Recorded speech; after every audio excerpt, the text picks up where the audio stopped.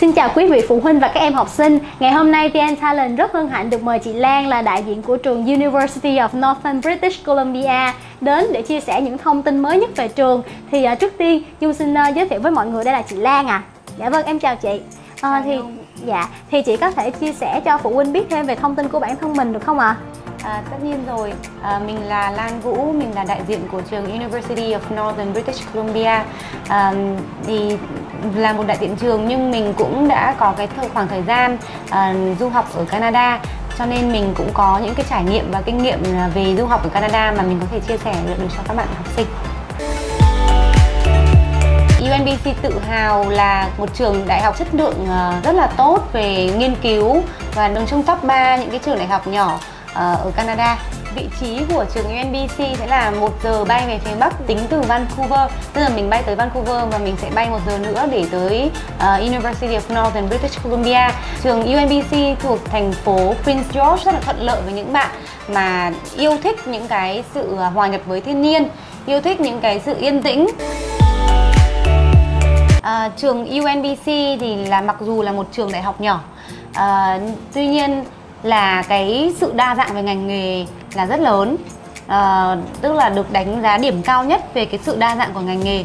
nếu như mà chúng ta thích một cái khu vực mà à, nó không quá đông đúc tức là nó yên tĩnh này và mình tập trung được vào việc học hành à, thì và bạn thì bạn có thể lựa chọn được rất là nhiều chuyên ngành ở đây. Ừ. à, thì chúng ta có thể nhìn trong cái brochure em nhé là là rất là nhiều luôn. Có những trường đại học nhỏ thông thường những trường đại học nhỏ ấy sẽ chỉ có một chỉ có một vài chuyên ngành thôi hoặc là có những trường chỉ có một chuyên ngành thôi.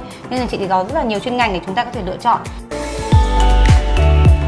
thứ nhất là cái vị trí của NBC là rất là được ưu đãi uh, cho những cái ngành môi trường phát triển. Uh, có đầy đủ những cái um, những, những cái landscape ở, ở ở Canada sông hồ núi uh, và rừng. Tức là các bạn có rất là nhiều những cái cơ hội để để để khám phá cái um, cái cái cái um, địa hình địa thế ở Canada.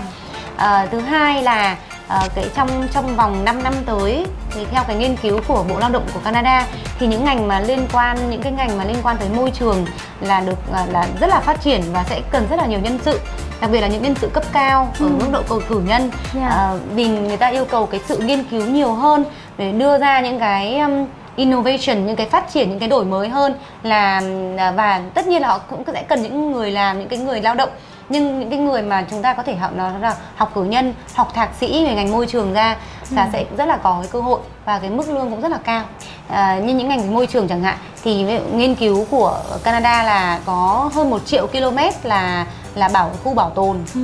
có hơn một triệu km là khu bảo tồn rồi nên là cái cái nhu cầu về nhân sự là rất là lớn trong những năm tới yeah. Dạ. ừ.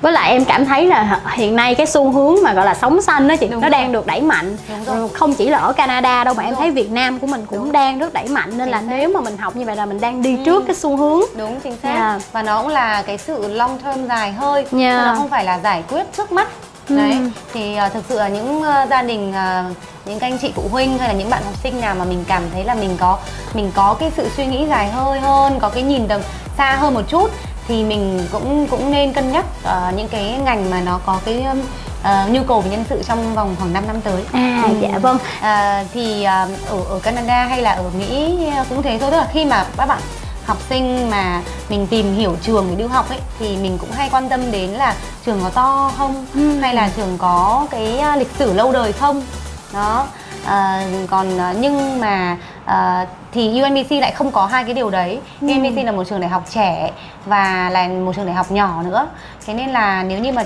các bạn mà muốn nhìn vào cái việc là trường đại học mà có có có cái sự lâu đời và có cái tên tuổi nhất định thì UNBC sẽ không thể so sánh với những trường đại học như là UBC University ừ. of British Columbia thì đấy là cái điểm yếu của UNBC à, để nhưng trong điểm yếu thì nó lại có một cái điểm mạnh là vì là một trường đại học trẻ ừ. nên là cái những cái design những cái thiết kế về build về, về building chẳng hạn à, về những cái tòa nhà học học tập học xá của UNBC ấy, lại được thiết kế rất là thuận tiện và thuận ừ. lợi bởi vì là vì là trường đại học trẻ cho nên là cái suy nghĩ của những cái người mà mà làm làm nên trường ấy thì họ đã có cái sự đi trước về mặt thời đại thời đại rồi ừ. ví dụ như là tất cả những cái tòa nhà của UMBC đều được connect dưới lòng đất à. là các bạn sẽ vào mùa đông sẽ không cần phải ra khỏi uh, tòa nhà không không cần phải ra khỏi tòa nhà mình có thể di chuyển từ lớp này sang lớp khác sang phòng gym sang bể bơi hay gì đó mà không cần phải ra Ừ. khỏi không cần phải ra khỏi ờ, ngoài trời mùa đông nên mình cũng không sợ lạnh đúng không? Dạ. Ừ. Thế nhưng mà nếu như là nói về cái cái chất lượng đào tạo thì bởi vì chị cũng đã học ở Canada rồi thì ờ, nếu như nói chất lượng về chất lượng đào tạo thì những cái trường đại học ở Canada nó khá là đồng đều nhau Dạ. Ờ, không không kể là trường to hay trường nhỏ hay là trường trẻ hay là trường đã có cái lịch sử lâu đời rồi Ừ. thì đấy là cái chị nghĩ là ở Canada nó là một cái điểm rất là mạnh của Canada bởi vì cái ờ, hiệp hội ờ, những cái trường đại học của Canada này hay hiệp hội những cái trường mà gọi là sau đại học ấy ờ, họ họ có cái sự kiểm định về chất lượng rất Vâng. là chặt chẽ nên Ừ. tất cả những cái trường đại học mà đặc biệt là những trường đại học công ấy Ừ. là nó sẽ có cái sự đặc biệt ờ, là nó đảm bảo chất lượng nên mình Ừ. cứ yên tâm về cái việc đó mà nếu như mà chúng ta băn khoăn về việc làm thêm thì thực ra là ở Prince George ờ, nó sẽ có cũng có rất là nhiều những cái nhà hàng cũng như là những cái cửa hàng cửa hiệu chúng ta có thể xin việc làm thêm ở trong đó À, thứ hai là mình cũng phải đặt một cái ờ, mình cũng phải nhìn một cách một cách khách quan là ở Vancouver hay là ở Toronto chẳng hạn một những thành phố lớn. Nhưng mà những thành phố lớn và cũng rất là đông đúc đúng không? Sẽ có nhiều cơ hội hơn. Nhưng thì mình cũng phải nhìn một cách khách quan là cũng có vô cùng nhiều trường đại học ở đó.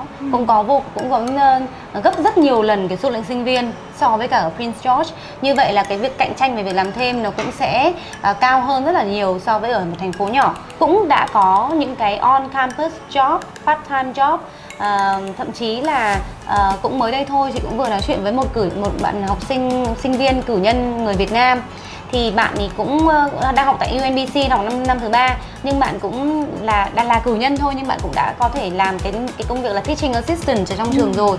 Mà teaching assistant thì được trả lương rất là tốt ờ, từ 25 tới 27 đô Canada trong một giờ. Đó thì um, bạn à, bạn nói là thì bạn không cần phải đi làm thêm ở bên ngoài. Nhưng nếu muốn bạn vẫn có thể đi làm thêm theo cái quy định của chính phủ thì bậc đại học của trường UNBC có cái tổng cái chi phí học liên quan tới học phí là 22 tới 25 nghìn đô Canada một năm học À, 22.000 Ừ. cho đến 25.000 đô ca. Nếu như quý vị phụ huynh và các em học sinh còn bất kỳ thắc mắc nào khác thì đừng ngần ngại liên hệ với trang fanpage của VN Talents hoặc liên hệ qua số hotline 0707003007 để được tư vấn cụ thể hơn. Xin chào mọi người và hẹn gặp lại vào video sau.